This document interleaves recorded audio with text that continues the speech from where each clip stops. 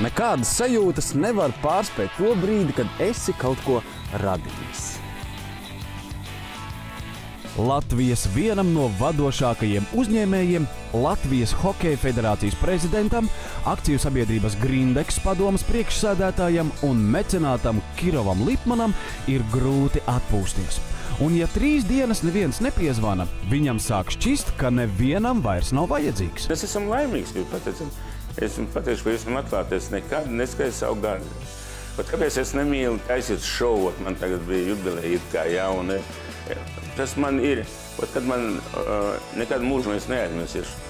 Es biju VFā, man uh, 30 gadi palika, jā, un es izteicu bankai, tur, nu, tajos laikos es, nebija tāda banka, tagad saiz šovu. Bet tomēr es visu vakaru sēdēju pie galda un domāju, cik es vecs esmu, 30 gadi jau. Ko, ne? Un tad es sev iedevu cieši tādu nostāju, nekad nedomāt par gadiem. Es uzskatu, ka tā, es ļoti daudz lasu, un es nevaru aiziet gulēt, lai, lai es neizlasītu kaut ko nepalasītu.